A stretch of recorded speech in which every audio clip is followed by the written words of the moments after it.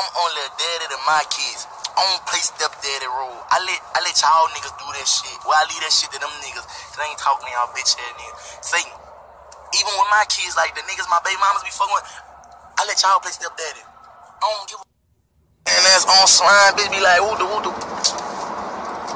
Baby. Bitch, you can't even fix no Kool-Aid that's good enough to go in my mouth. Oh fuck you. Come here.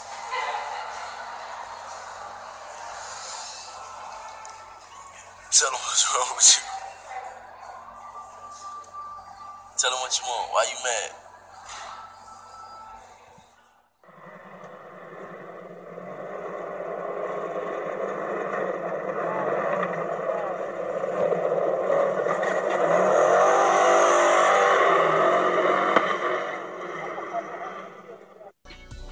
Bitch texting his phone while he smoking Doja. He thuggin' trying to keep his head on.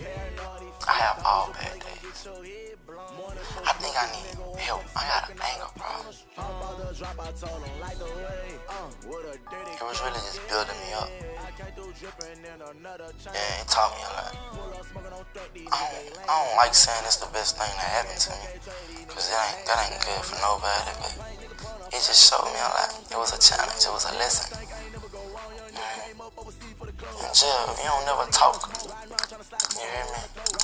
You think a nigga just, just gonna out back and come at you and play what you know. But that nigga that talk out there, they gonna feel like they got him figured out. So they gonna, they gonna feel like they know you now. They gonna, they gonna come at you in a way that they done thought of. If they don't know you like that, they not gonna approach you and you know, I ain't never, I ain't never used to talk. You know, I ain't never. Jail taught me now how to laugh. You hear me? Cause nigga take a laugh for anything. In jail, shit. Nigga knew who I was. They had a lot. They had a lot of niggas laughing. You know, all I do is smile like, yeah. Shit, we ever in a dorm together. You know what it is. I ain't had not one fight in jail. Nigga don't play with me. Shit, I don't play with nobody. I res- I ain't gonna say I respect everybody, cause I don't respect no nigga, period.